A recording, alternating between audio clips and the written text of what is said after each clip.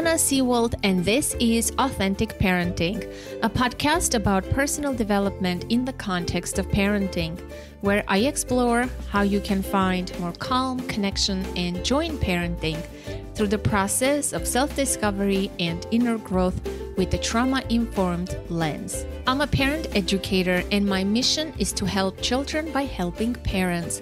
The motto of this podcast is Raising Our Children, Growing Ourselves.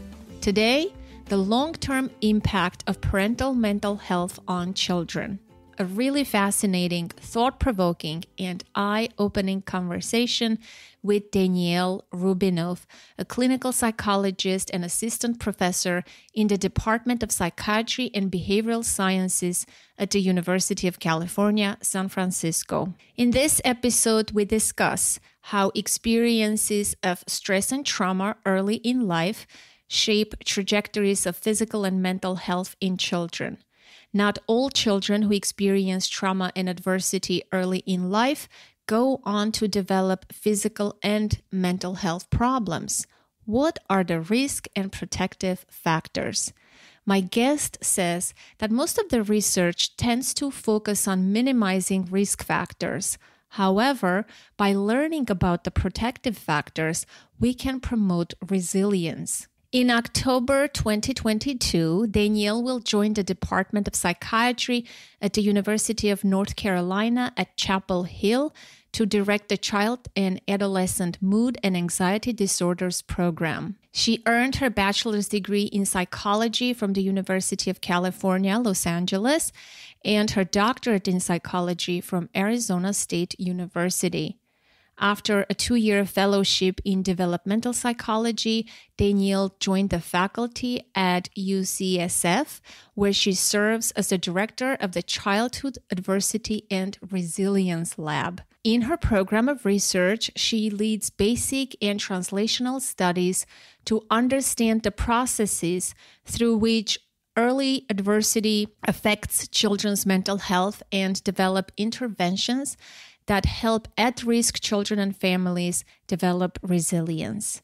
Danielle's work is funded by federal, state, and private foundation grants, including the National Institute of Mental Health, California Governor's Office, and Brain and Behavior Foundation. She's been recognized with early career research awards by the Association for Psychological Science and American Psychosomatic Society. I truly enjoyed speaking with Danielle, and this is a super packed episode. Here are some of the things we covered. What is the most single important protective factor for resilience? The importance of predictability in children's lives, the parental emotional regulation and its impact on children's well being, how mental health and physical health are not separate and how they affect one another, how we need to destigmatize mental health and normalize seeking mental health help for parents, how to know that you're struggling, what signs to look for. What are some health consequences across the lifespan because of the early adversities we have experienced and the long term impact of the pandemic? I told you this is an amazing episode, really jam packed with great information and practical tips.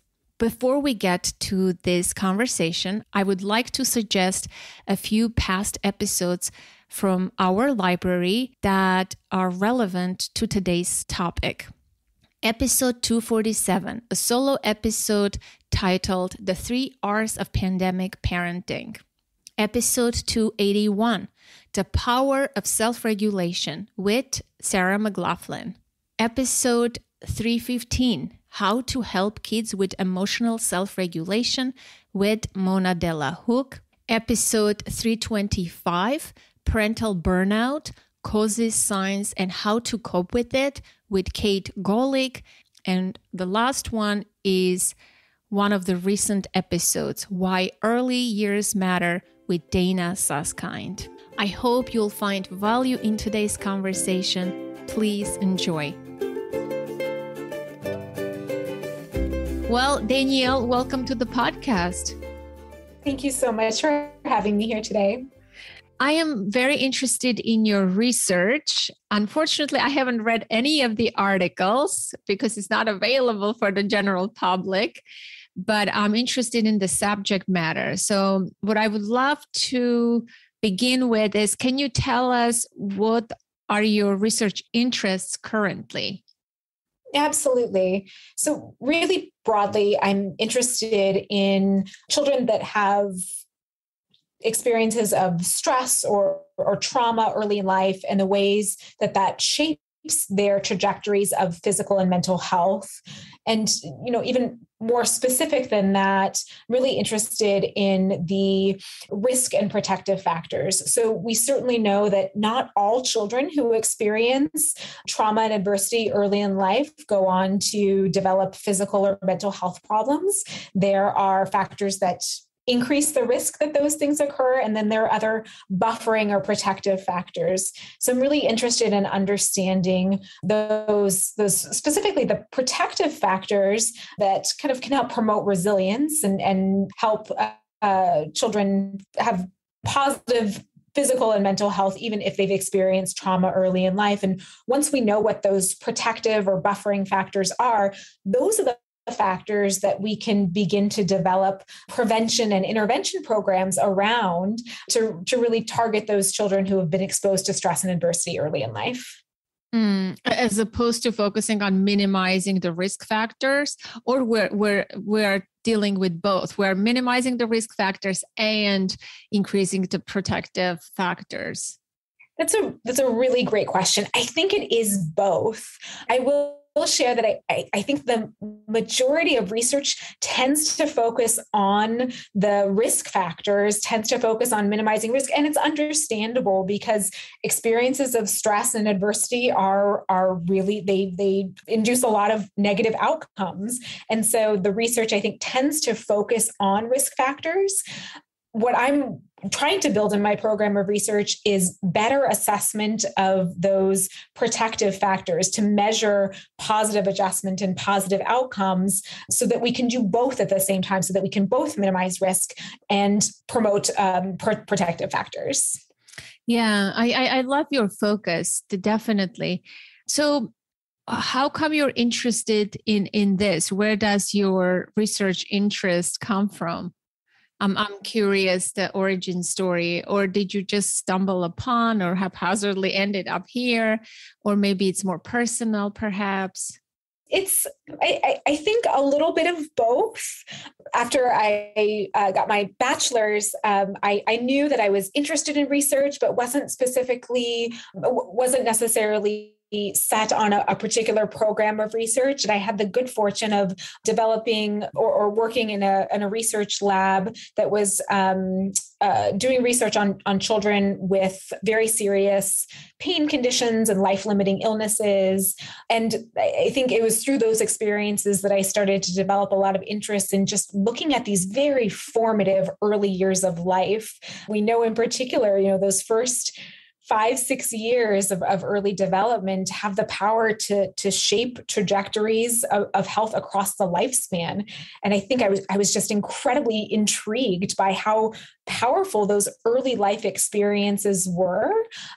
I think that's where where my my interest really started. I think on a personal note um, i have um, mom who was a, a high school counselor. And I think I was raised in an environment where we talked a lot about emotions and addressed emotions really um, in, in, a very direct way. And that I, I think um, being raised in that sort of an environment where there was a lot of talk and, and acknowledgement of mental health um, might have influenced my trajectory. Yeah, that's great. So let's talk about the critical first few years which is uh, very startling when you acquaint yourself with the research on resilience. I read once that the first year is very critical, especially the first year in terms of resilience. If you experience adversity or maltreatment in the first year, it doesn't go right from the beginning and then later in life your life is amazing right? There is no traumas or anything. You're still it's it's still not good because the first year the head start wasn't good as opposed to someone who had a very nurturing and good first year. And then they experience adversities. They do much better in terms of resiliency. So i don't know whose research that was but it stuck with me because I was always curious in this subject myself. Someone who experienced trauma at an early age, I saw around me some people thrive, some people barely survive, some people die, couldn't get by. And I always was like, wow, what's what's going on?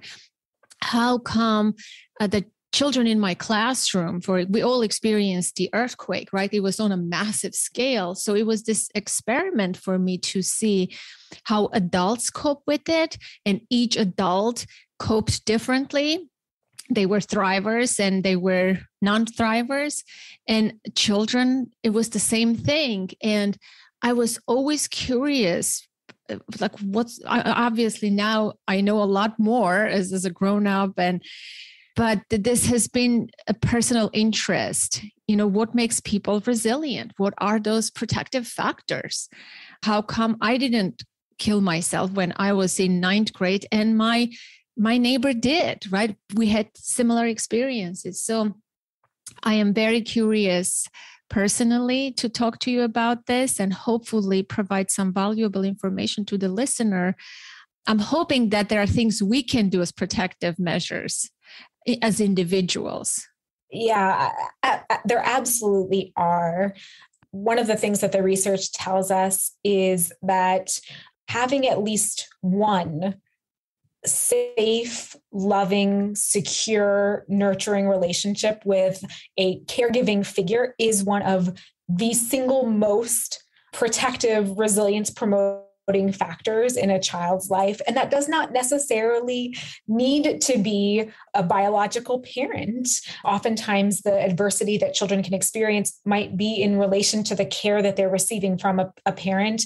Sadly, in cases of abuse or ne- neglect or maltreatment, um, there are certainly children who experience parental loss. And over the course of the, the pandemic that is one you know early adverse experience that has, has, certainly increased there are so many children that have lost primary caregivers for those children one of the single most protective factors is a, a, nurturing relationship with another caregiving figure. And some of my work has shown that, um, you know, for example, a warm, supportive relationship between a, a, a teacher and a child can protect against the effects of a more negative conflictual family environment. And so you know even just thinking that just one really special caring loving adult can be that protective factor for children who experience early adversity.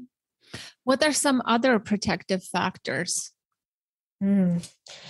um, in general I think another factor that we we know to really help children who have experienced early adversity is predictability in their routine having knowing what to to expect having house routines in their household whatever that might be predictability and control knowing what to anticipate. Um, so again I, I reference the pandemic again only because it's you know one of the the stressors that has been most salient to children's lives over the past couple of years. And one of the things that we've recommended to families and caregivers is in this time that is so unpredictable and disruptive what are routines that you might be able to have in in place um, that that help support children family dinners um, a schedule um, game nights, movie nights. Uh, uh, again, building in predictability in this time that feels so so incredibly unpredictable. We also certainly think about you know particular types of parenting or, or child rearing that we know to be really beneficial for children. So you know that includes high levels of sensitivity and, and nurturance between parents and children. I think these are things that certainly we we logically know, but we might really underestimate the power of these things. So interacting with ways in, in children with children that are that are very, very responsive with really young children, that can be incredibly simple. I work quite a bit with interventions that um, support caregivers of infants and toddlers. And when we think about responsive parenting in those contexts, that's just the, the easy back and forth that parents and, and children can have. The child is playing with a ball and throws a parent a ball. Oh, you threw me the ball. Thank you so much. I, I, I have this ball. I'm going to throw it back to you. It doesn't necessarily need to be really complicated. We can think about these simple everyday parenting type behaviors that are that are incredibly powerful to support um, uh, children who are going through uh, adverse experiences yeah that that's really remarkable how something small like that can impact impact the child what could you say about the consistency in how the parent reacts to the child, the parental emotional regulation, the consistency in there. This is something I talk about a lot and teach. Is there research around this? Because you can have predictable routines, right? Consistent dinners and bedtimes and things of this nature. Sometimes it's easy to establish those. What I find is hard is when the caregiver has a hard time being consistent with their anger, with their frustration. They either withdraw in some situations or they lash out. Their, their emotional outbursts or the way they respond are very drastically different from the day before, very inconsistent. What can you tell about that, or is there research around this? Absolutely. That's such a great question.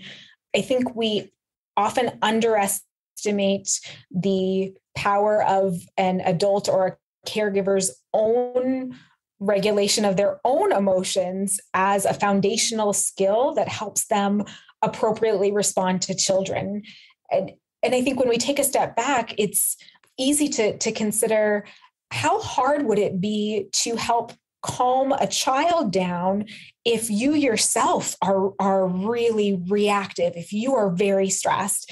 But oftentimes when we are trying to support young children there's a, a, kind of a lack of attention to helping the caregivers develop their own emotion regulation skills. That's really the first step.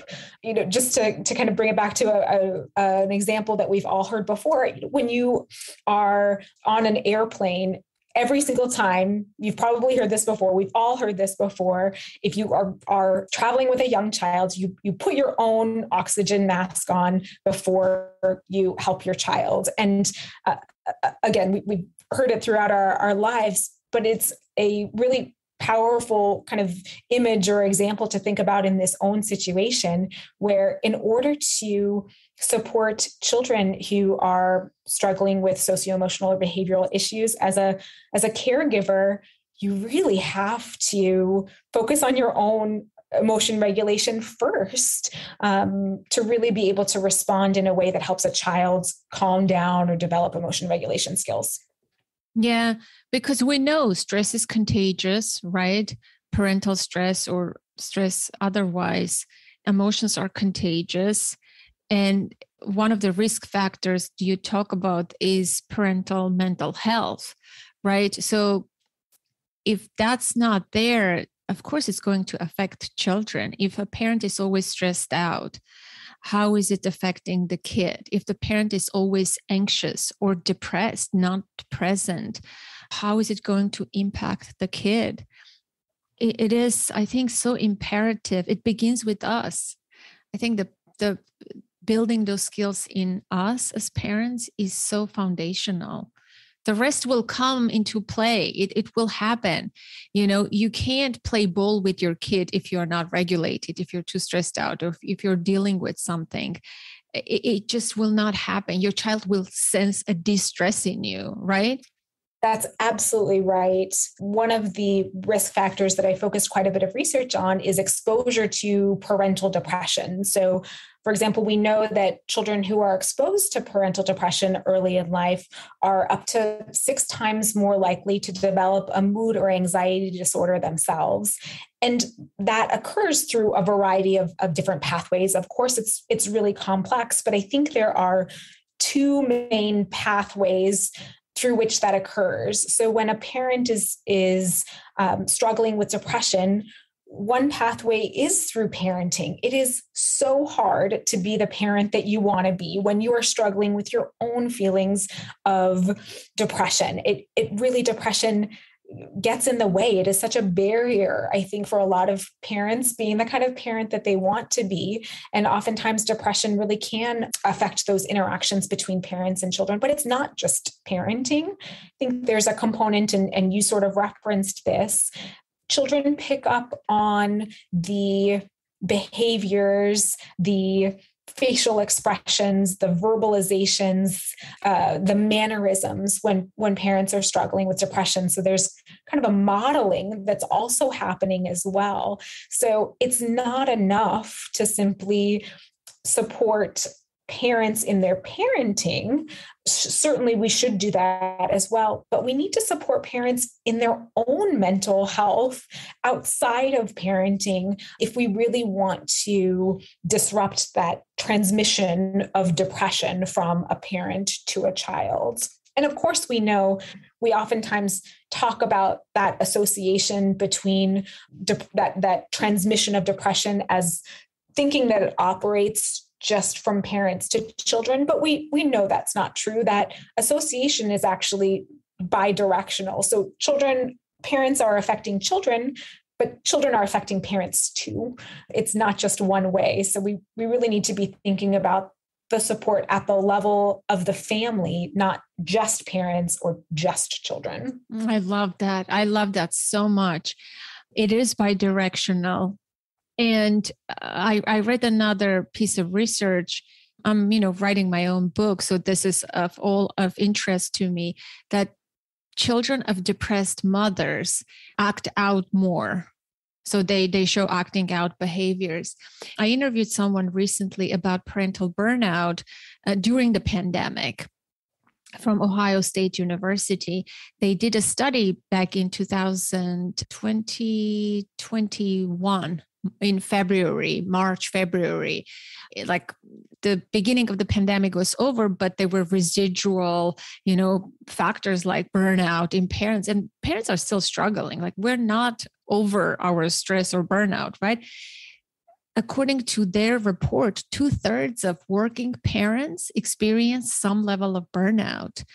And of course, it had impact on children, right? If a parent is burnt out, they're not going to ace their parenting game, right? It's, it's just going to affect them and you know increased alcohol use in the parent lashing out yelling using physical forms of punishments and harm towards their children, not only criticism and all of that increased because the parent simply was in burnout and they couldn't parent.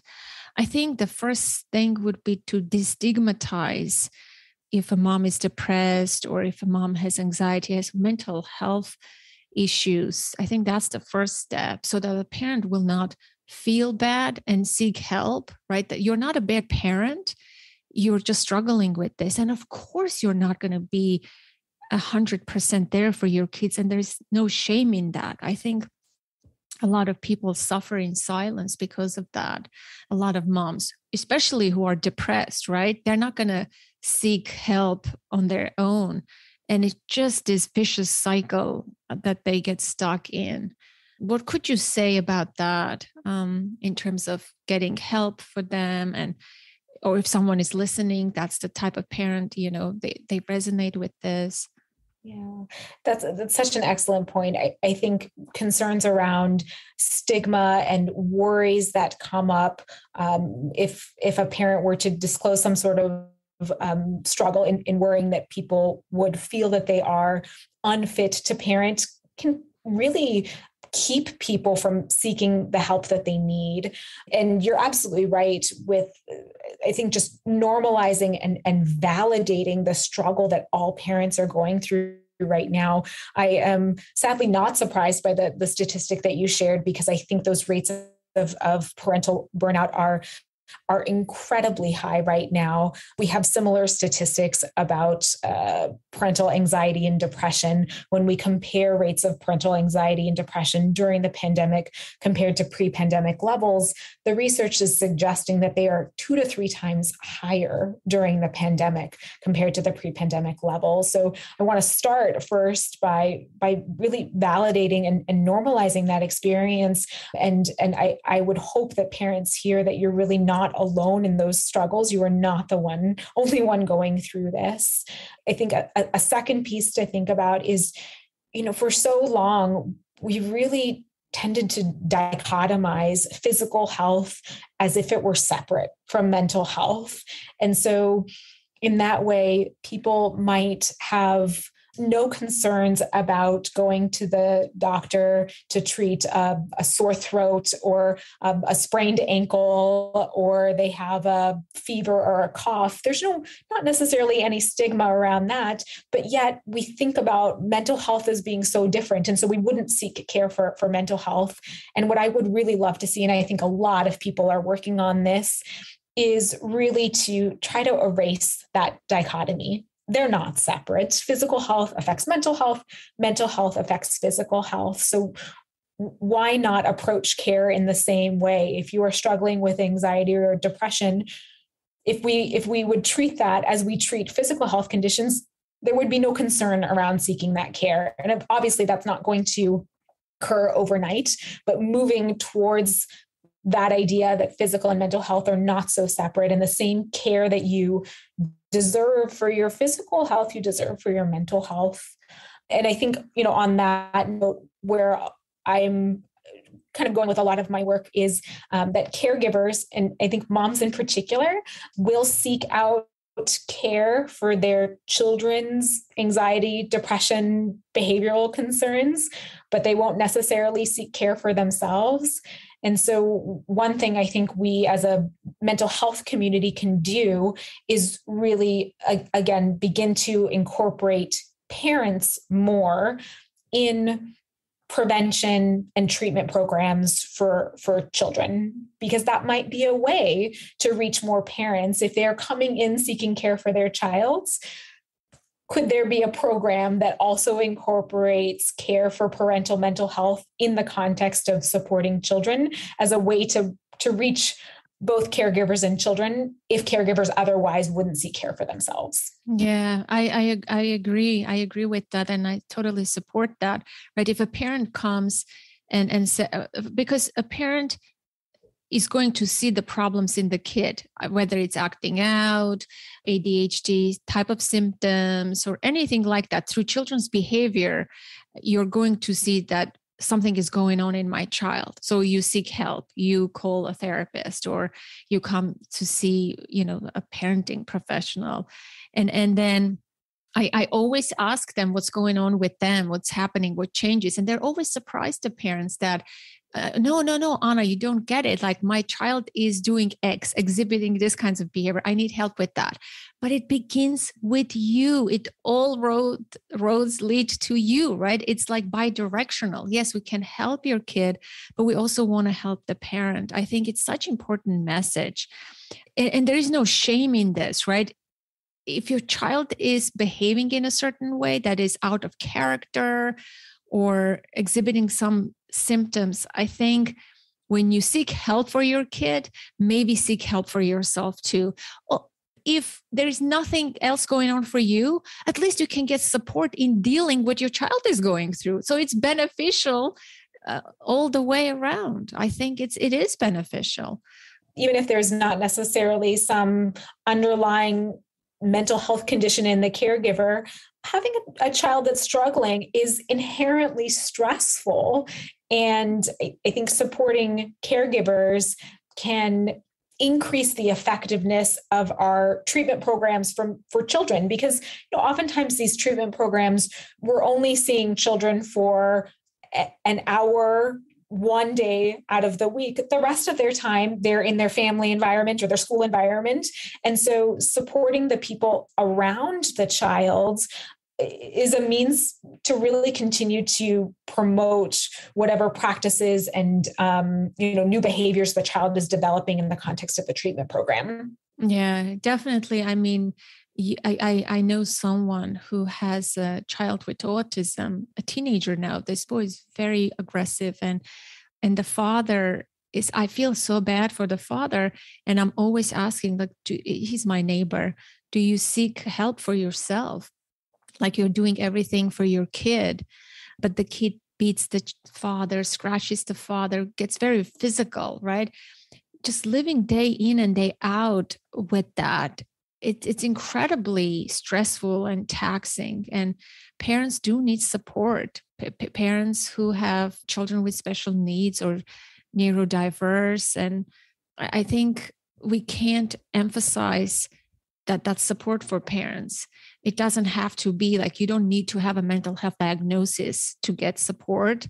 If you're struggling if you're going through a lot and if you resent your kids that's okay too. So i think finding support for yourself is, is important in in in like you said one of the protective factors in you know when it comes to adversity or trauma is having a nurturing supportive person it doesn't change throughout our life right? We always need that loving supportive other who can be a source of support for us and resiliency even if we're adults. We can't do it all alone. I think that mentality has to banish from our culture that ragged individualism especially in the united states you know and if you're not doing it alone and you're not acing it, then there's something wrong with you. No, you're not meant to do this alone, period. Right, right, right. Absolutely. I, I couldn't agree more.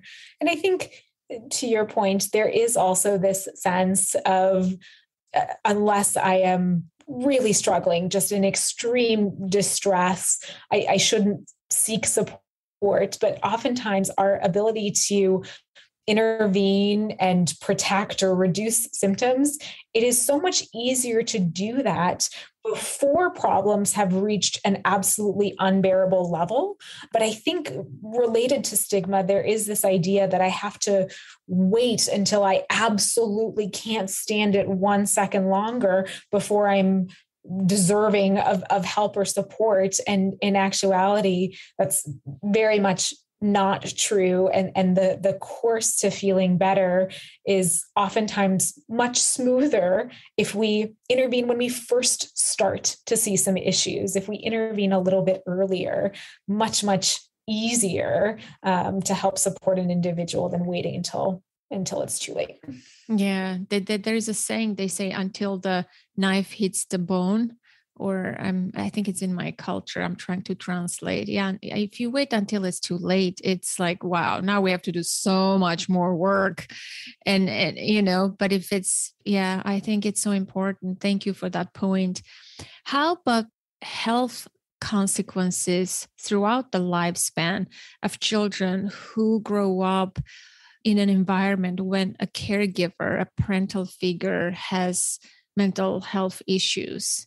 You you mentioned already that they may develop if you know depressed or anxious moms the kids can have um, depression or anxiety.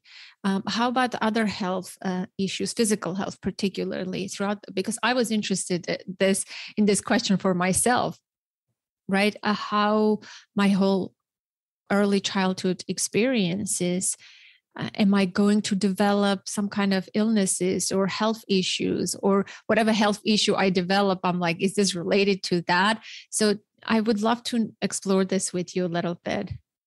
Yeah, absolutely. That, that's a great question. I think the over the past few decades we know more and more about the the consequences of adverse experiences before the the age of 18 on health across the lifespan into middle adulthood, late adulthood, well into to later life. The, the research started out very interesting seminal studies conducted in the 80s where they would ask individuals to in, indicate which of these about 10 adverse experiences did you develop before the age of 18 and then look at a variety of, of physical health conditions across the lifespan really spanning a variety of different categories so diabetes cardiovascular disease, cancer, early signs of aging, higher levels of injury exposure. And what we see is on average, these experiences, these early adverse experiences, tend to increase risk for all of those physical health conditions across the lifespan.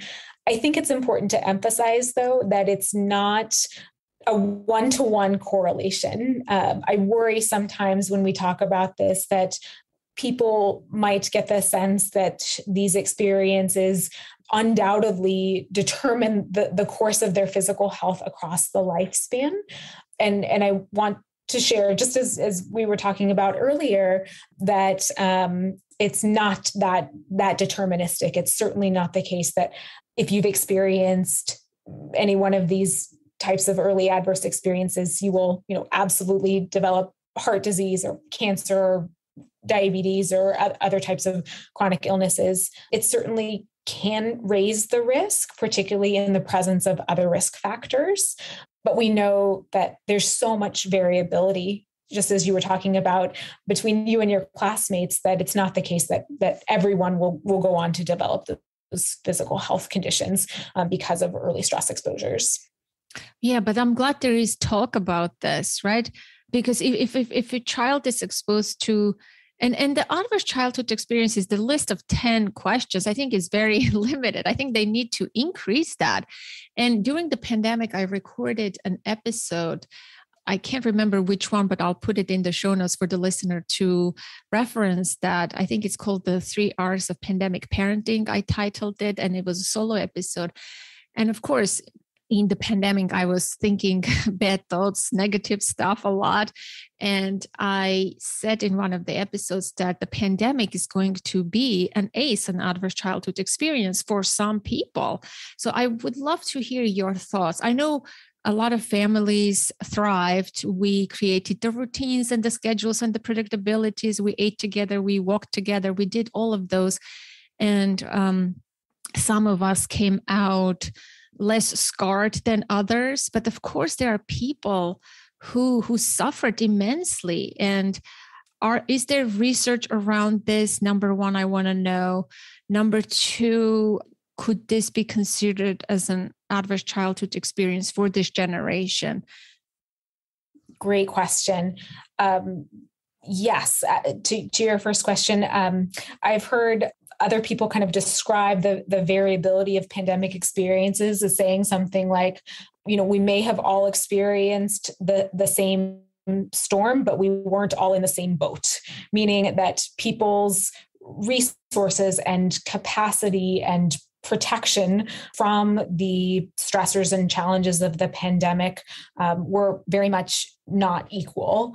And I think when we think about the variability of experiences, there were many communities that ex- that disproportionately experienced challenges during the pandemic um, that were harder hit in terms of um, the, the financial impact of the pandemic COVID 19 infections, school closures, all of those things, those tended to be um, uh, uh, racial and ethnic minority communities, lower income communities, they they really experienced a, a, a, disproportionate impact of the pandemic compared to others, and and I think we see the consequences of that on physical and, and, and mental health conditions in those communities. And there is certainly research to support that, um, looking at rates of infection, physical and mental health conditions. We, we see disproportionate rates in, in, in these types of communities. How about the for the kids right? I mean it's one thing it's the parent a grown-up person. How about the kids who are below the age of 18 in those in those communities? What are the risks for those kids? Yeah i think they have also experienced more pandemic challenges. So th- there's research to suggest the impact on school closures in terms of greater more disruption in in schools so oftentimes schools in in wealthier communities had more resources to be able to institute hygiene, ventilation practices, social distancing, all of those things that allowed children to return to school safely. Oftentimes, in less resourced communities, they did not necessarily have the ability to do this. So, lower income, often racially and ethnically diverse communities, children were out of school uh, without that routine, maybe uh, uh, attempting to, to do virtual school, but the resources for doing virtual school are, are, are certainly not robust in a lot of these communities. So, I think those children were very much harder hit by the pandemic and the disruptions to their their school um, and the effect that that will have on their educational attainment is, is much greater than than children who are in wealthier communities oftentimes um, you know majority culture white communities. Absolutely also the, the, the kids in in in in um, in that group school was not only a source of education information stability routine a safe place to be. For some and for many schools were a place where they can get their one and only meal per day. Because i lived in a community here in you know in the united states for 15 years where that was the case for for the school kids and then if the school isn't there you know they're not where, where are they getting their next meal? And of course their parents were probably the frontline workers who were do, doing jobs that uh, they were exposed to the virus more than than than people who can work from their computer from home. They probably died more got sick more in those communities. The stress of the parents i, mean like i often think wow this this is like I talk to privileged people, let's say quote unquote, who who thrived and baked all sorts of uh, sourdough breads and did amazing art projects and things like that but I want to talk about the people who really struggled, who didn't have food, who didn't have access to resources, to education, to computers, to Wi Fi. They didn't feel safe in their own home, safe in the sense that there was domestic violence, uh, rates were high. And we know that when the parent is burnt out, they're hitting their kids. And so that was high. And, and, and so there's so much invisible stuff that I hope it will be talked about and researched, and this population would will get help maybe in in in in the future or now. This was like an alarm. We saw what's happening, but I don't see it covered a lot, unfortunately. Not on social media. Of course, they're not going to be in social media saying, you know, we struggled, right? They are like the disadvantaged people. They're always like in the background, hidden somewhere, invisible it's, it's really sad like you can have such drastic experiences within a community. Absolutely yes and i i will say i think we I, i'm part of a couple of different research teams that have these ongoing projects that attempted so um, you know one of the things that I think we're seeing some research come out during the pandemic that has conducted single time point uh, surveys or questionnaires with caregivers with families and so we're getting this um, snapshot a single point in time with estimates of um, mental health problems, other challenges. But I think what's incredibly important is the ability to, as you were saying, look at these families over time. And so I'm part of a couple of different research studies where we had existing families that were recruited into studies pre pandemic, where we were collecting some of this data around um, parent mental health, child mental health, environmental conditions, families. And during the pandemic, as best we could, we continued to collect that data and we will continue to follow them over time because i think what we don't know enough of yet is the the longer term impacts of the pandemic and how functioning pre-pandemic factors related to the the family and the parent pre-pandemic may affect the long-term outcomes of these children and families during the pandemic. And so, this research, I, I hope, will begin to ask and answer those questions where we can say what were the factors occurring pre pandemic that helped predict better or worse adjustment over the course of the pandemic. Mm, so, this is an ongoing research. Yeah, I would be interested in in finding out those results. Yeah, we have, to your point, we just begun to look at this data, but um, there's one study, multiple sites. We have families in San Francisco, um, in Memphis, Tennessee, in Seattle, and I believe in Rochester.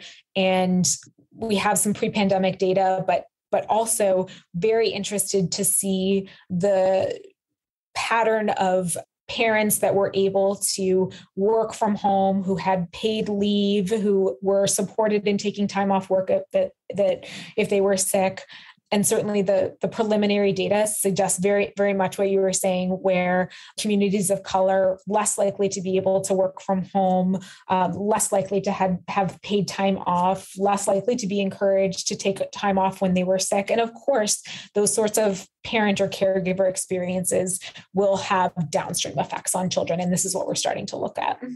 Yeah. And that's why i was you know asking I was thinking about this early on in the pandemic, and people were were saying, "No, you are pathologizing." When I said this is going to be an adverse childhood experience, it's going to be considered. People looked at me funny, and they said that I'm catastrophizing, and and I came to doubt myself at some point, and say, "Am I really? Am I?" You know, it seems like a lot of people came out of it in an okay way, scarred but okay, right?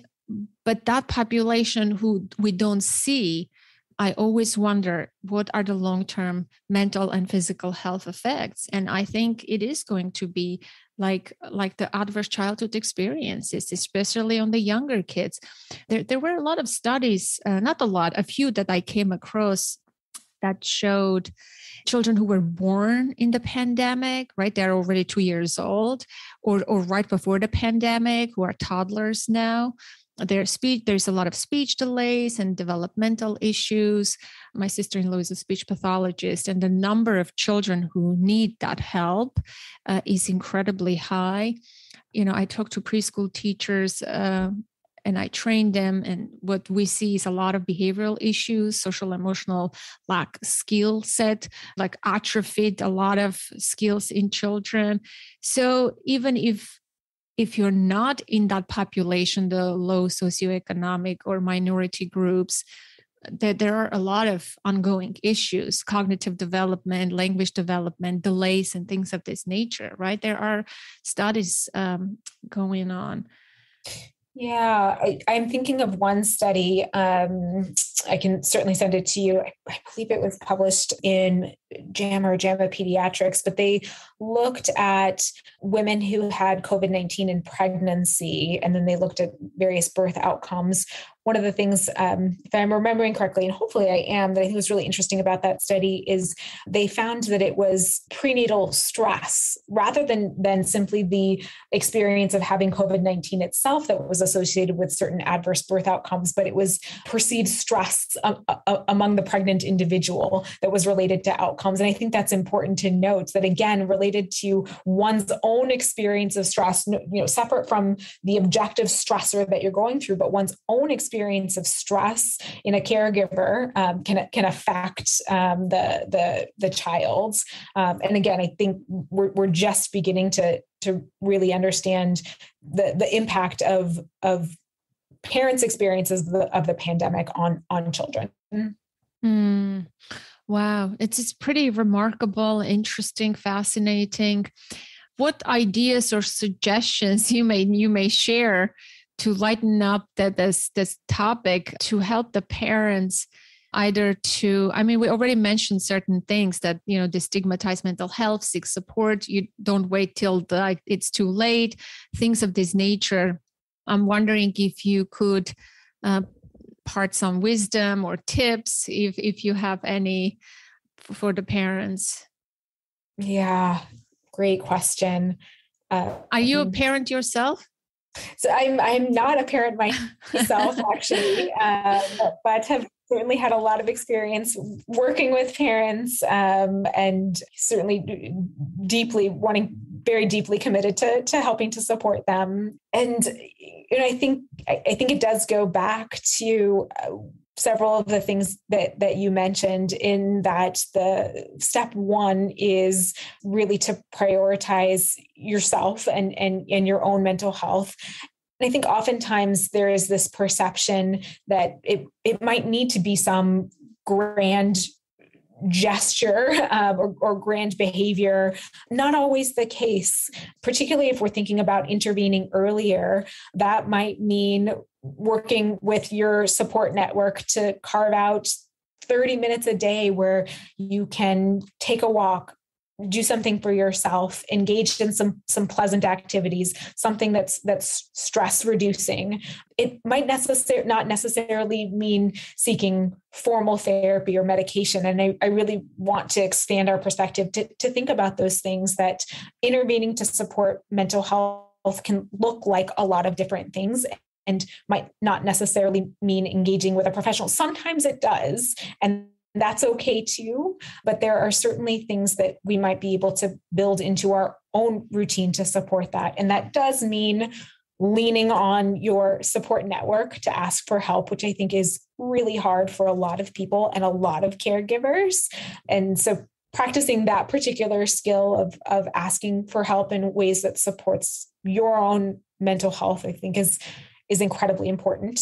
I think as a parent, there often is a lot of pressure on being the perfect parent, on having the best parenting on on never making a mistake on always being there for your child in every way always and that that's unrealistic. And so there's a, a phrase that i think is shared by a lot of people who support parents is that more often than not, being a good enough parent is okay and is pretty good, actually. You're doing a good job. And so like to introduce that idea to you, to, to all, all parents out there that your idea of a good enough parent is probably good enough and and not holding yourself to an unrealistic expectation of perfection as a parent all the time is really important. Serving perfect meals, perfect experiences, those sorts of things. Yeah. I think the important thing I want to highlight in, in what you're saying is it doesn't have to be a formal quote unquote diagnosis of anxiety, depression, or uh, or any mental health issue for the parent to to seek help. I think i can't emphasize that enough. And i want to ask you how can a parent know that they're struggling uh, right because if you don't have a big diagnosis or big issues we did the burnout episode and i got so much feedback from people saying wow thank you. I just realized that i am in burnout. That episode hit home for many people. It opened their eyes. I think talking about those subjects and and uh, illuminating raising the awareness educating people i think is key. And what i want to ask you is what are some signs that someone is struggling in order to seek help either formal help like therapy or or or just some other in their network right?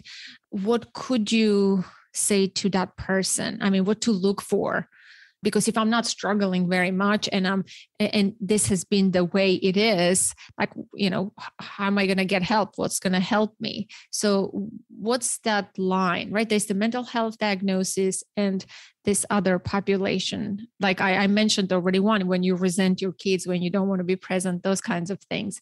Uh, are there any signs that you can mention? Absolutely.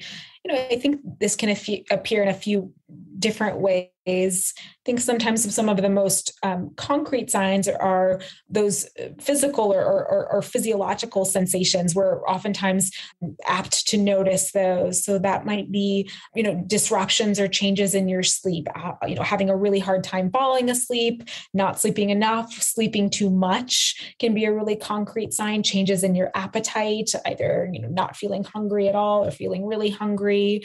Kind of general lethargy, having a hard time kind of getting going, um, feeling like you're you're just kind of moving really slowly. Um, those sorts of physical signs. I think with um, anxiety, you know, feeling that it's a very can be a very physical feeling, feeling tense all the time, feeling like your muscles are tense, you're holding a lot of tension. Again, those sorts of physical sensations can be signs other than that, I, I also think about reflecting on ways that you might be feeling that are getting in the way of doing your daily activities, um, the things that you want to do. I think one of the biggest signs that we often look out for is are you not doing the things um, that used to bring you pleasure? Are you not doing those things anymore? That's a pretty big sign that you might be really struggling. So, hobbies, enjoyable activities, if you just don't feel like doing those things anymore, can be a sign. Your um, kind of outlook on the future, if you're having a hard time finding sources of hope or optimism if your kind of outlook on the future is is pretty low. Again another another sign. So those are the things i would say to kind of look out for. Excellent. I love it. Thank you. As as we approach the tail end of this conversation is there anything that i didn't ask that you would like to share before we say goodbye in terms of how parental stress uh, mental health affects children's mental health and physical health.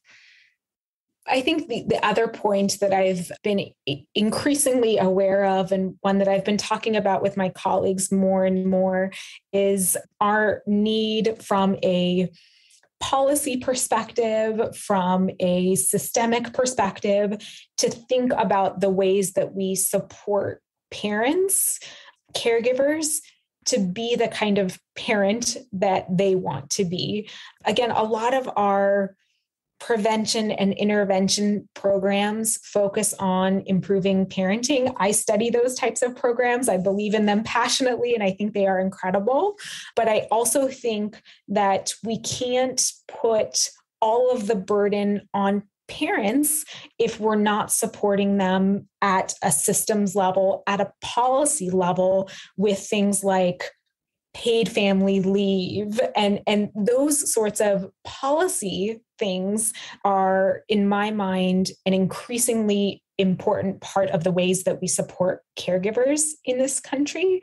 And so that's something that's you know a, a direction i'm i'm going with my my research but but really thinking not only just family level parenting support, but but more systems level policy perspectives that um, that we really need to be thinking about to to support caregivers in this country.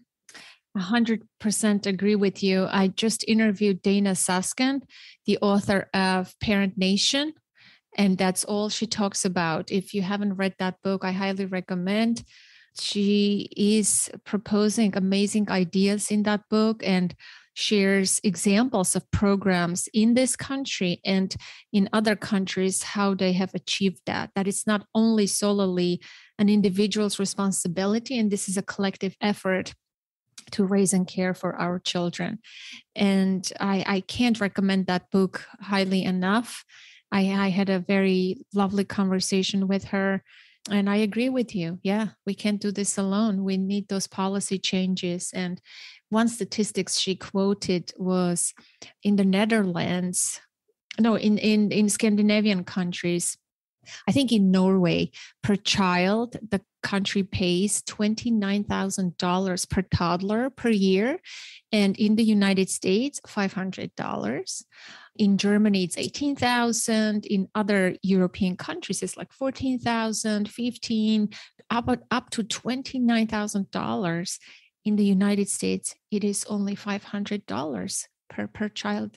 So that shows where our values are where our priorities are unfortunately uh, you know? And of course it is hard. Parenting is hard and we can't do this alone yeah, yeah, but those sorts of early intervention support programs for childcare, for preschool, for kindergarten, uh, all of those things, when we invest early, provide uh, just an enormous amount of, of support for those formative early years um, that that end up changing the trajectories, particularly for those most vulnerable children. Yeah i mean we we we want violence to end. Why aren't we instead of fighting violence now let's invest in early childhood education. When the brain is developing the fastest in the first 3 years let's support those families and educators and caregivers who are invested in raising the the you know the young the youngsters so that they will grow up you know reaching their full potential and their brains will develop optimally and and hopefully we will minimize violence in the world. Like it's all upside down it seems like. It's just incredible. Yeah yeah but as you're saying the the policies tend to be very reactionary. We do something once there's a problem, once it's occurred, rather than many of these other countries that, rather than being reactionary, are preventative. And they see the benefits of those sorts of early investment, early prevention. And, and that approach is extremely successful. Yeah, that's why I love your work that it's more instead of the risk factors, let's increase the protective factors. It's it's similar, similar philosophy. Danielle, thank you so much for joining me today. I, I, really enjoyed this time. It went by very quickly. I love the topic of your research interest. Um, I would love to stay connected to hear more. And if there is more interesting research, I would love to have you on and, and share with my audience your discoveries, especially around this pandemic. It's very interesting. Thank you so much from the bottom of my heart. It was truly a pleasure. Thank you so much. And I really loved this conversation, and let's definitely stay in touch. That concludes today's conversation, my dear listener, and I hope you enjoyed it as much as I did. These are some of my favorite topics to talk about. What is your biggest takeaway from this conversation? Did you learn something new? How you may apply what you gleaned from this episode into your life? I love hearing from you. If you have a comment, question, or feedback about the podcast in general or about this episode, please get in touch. Send me a note to the email info at authenticparenting.com. Call the number 732 763 2576 and leave a voicemail. And for you, my international listener, there is a free tool on the contact page of my website.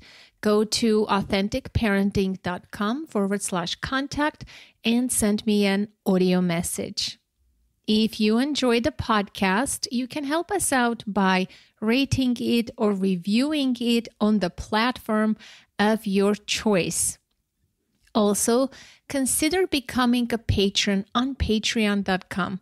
With a small monthly contribution, you can support your favorite show and join our existing 21 patrons who together contribute $121 towards our monthly goal of 500.